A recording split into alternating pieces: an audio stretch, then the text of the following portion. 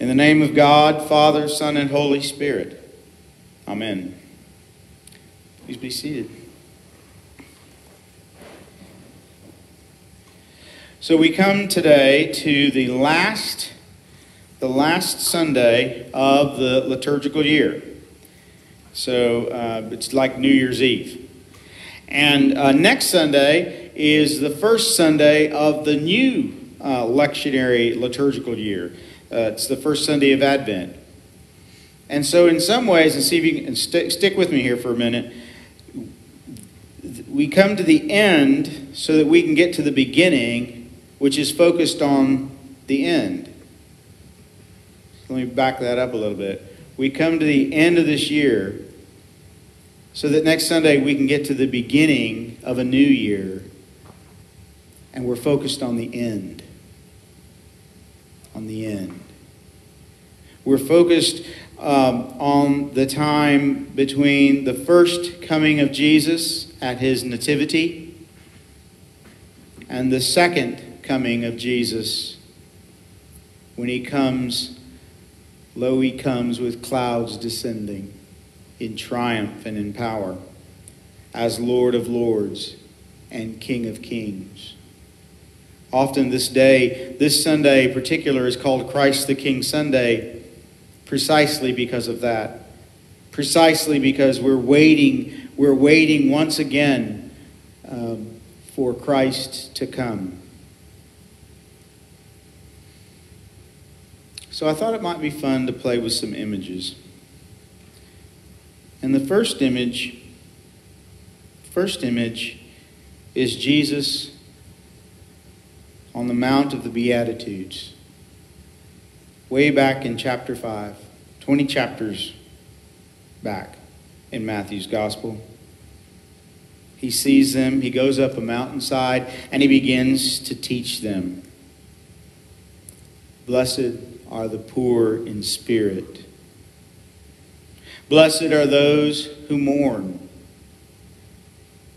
Blessed are the meek. Blessed are those who hunger and thirst for righteousness. Blessed are the merciful. Blessed are the pure in heart. Blessed are the peacemakers. Blessed are those who are persecuted for righteousness' sake, for theirs is the kingdom of heaven. Some of those some of those images sound familiar, don't they? Hungry, thirsty.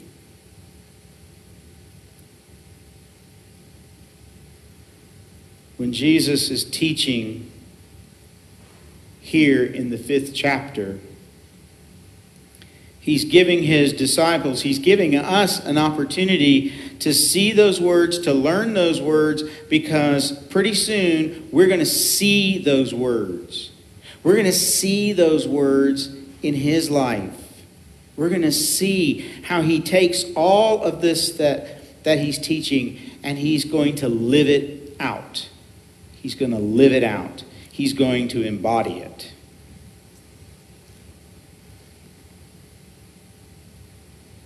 Lo, he goes.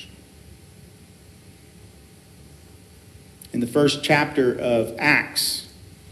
We see that moment when, um, when the disciples, the 11, gather with Jesus. Judas is, is, no, is out of the picture. Judas is already betrayed, and he is no longer part of the 12. So the 11 have been walking with Jesus for 40 days during his, his Easter life. And they come to that place and it's time for Jesus to go. And, and, and the gospel, uh, the, the, the Acts writer Luke tells us, you know, while, they, while he was going, they, they were watching, he was lifted up. He was lifted up. And he was taken up by a cloud. It's quite a sight, actually, when you think about it. And they stood there. The 11, they stood there. They just stood there looking up just stood there. And then Luke tells us that two men in white robes came and stood by them. And they said, What are you looking at? Why are you standing here? Okay, yeah, he's gone. This Jesus, he was taken up. Yep, for sure. And he's going to come back the same way. Lo, he goes with clouds ascending, and lo, he comes with clouds descending. But it's time for you to move on. It's time for you to get busy. And then Luke tells us, the writer of, of Acts of the Apostles, right after that scene, the very next thing, they replace Judas and they get about their ministry. So I have to say that sometimes it is really, really comfortable. It is really, really comforting to think about to think about where we're all going to be. And, and when, when we experience a uh, loss, whether it's a family member or, or friend, we're reminded, we're reminded, sometimes we don't want to be reminded, but we are, you know, that, that heaven awaits us that a better life awaits us, that eternity awaits us, that a life without struggling and, and challenges and pain, a life without death awaits us. But here's the thing you and I, you and I are not allowed, like those, like those 11, we're not allowed to just stare away at heaven. There's something more. He's coming back. And in the meantime, there's work to do. There's work to do.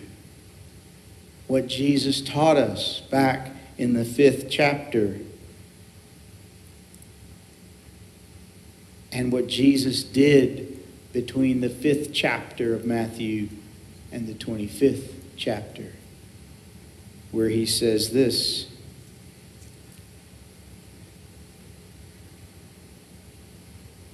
Lord, when was it that we saw you hungry and gave you food, or thirsty and gave you something to drink? Hunger and thirst. And when was it that we saw you a stranger and welcomed you, or naked and gave you clothing? And when was it that we saw you sick or in prison and visited you? And the king will answer them Truly I tell you, just as you did it to one of the least of these who are members of my family, you did it to me. Jesus isn't just um, identifying with the poor, the hungry, the thirsty, the naked. He is in each one of them. This is one of the great, the great mysteries of the church. This is one of the great mysteries of Jesus.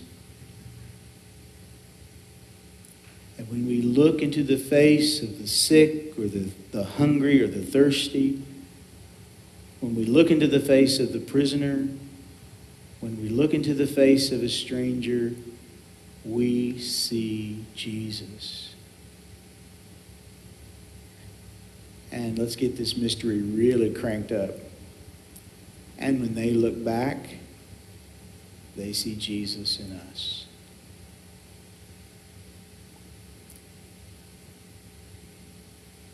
There's going to come a day when we look up to the heavens and lo, Jesus is going to come with clouds descending.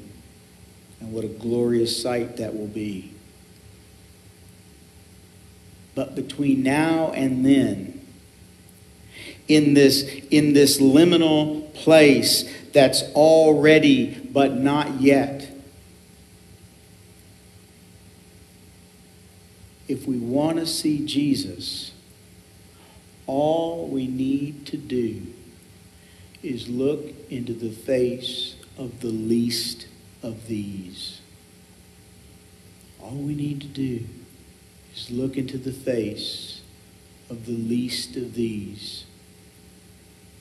They're part of God's family.